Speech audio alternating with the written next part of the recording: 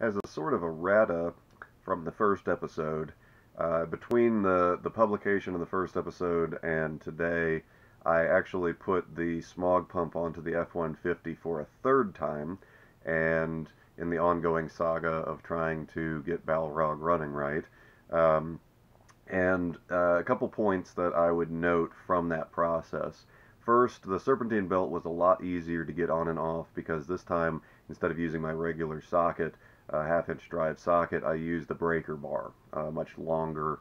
Um, and so that just, it made it really, really easy to get the serpentine on and off. I didn't have to put nearly as much arm strength into it, thereby freeing up my second hand. Uh, so that would be my first point is to make sure you use an actual breaker bar, get, uh, or, you know, put a pipe on your uh, ratchet, a wrench. Uh, so that would be point one. Point two, I think the actual, the hardest point in the process is when you are reinstalling, so you're putting the new pump in there and you have to align the bolt hole. And it is a really tight fit in there and uh, it was, it was, it, for some reason the third time it just took me more effort. Um, the, the way that I would recommend, because the problem is, so you're trying to, to line up the holes for the bolt to go through. So you have your two brackets, and then you're sliding the smog pump into that, and then you put the bolt in. And so you have to align the holes. Uh, so the bolt will go in. You can't look down it because you've got the fan in the front end of the truck right there. You can't get up in there. So, I mean, hypothetically, you might be able to get a camera, phone, something like that, in there to, take a picture. Maybe you can get a shot of it. But the, the old-fashioned way is to take a screwdriver, stick it into the hole. Once you've at least got it lined up that you can get the screwdriver in, then you just rotate the screwdriver around and around until it lines up and you can thread the bolt through. For some reason, the third time just took me more effort than the other two. Uh, so that would be the, the second point. Is I think that's the hardest point in the operation. So be prepared. It can get a little frustrating, so take your time. Uh, and you know you just have to by feel and getting that uh, screwdriver in there, wiggling it around, you can get it lined up and thread the bolt back through.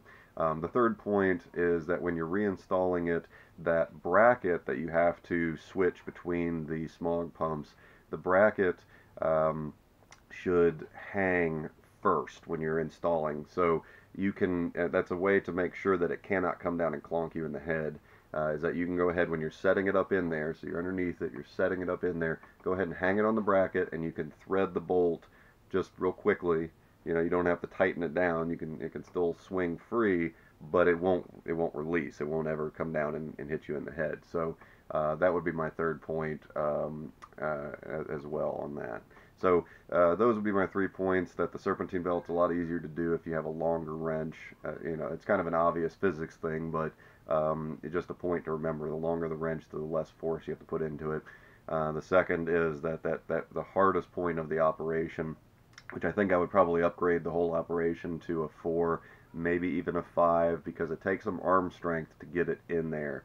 Uh, and because you're underneath it, you got your arms in the air, uh, you know, the blood drains out. It's a, it's, it's a heavy thing. Again, uh, so the second point is it's actually threading the new one in there that I think is the hardest, getting the bolt aligned. Um, and the and when you're in when you're under there putting it back on go ahead and hang the bracket first so that it cannot fall off and hit you in the head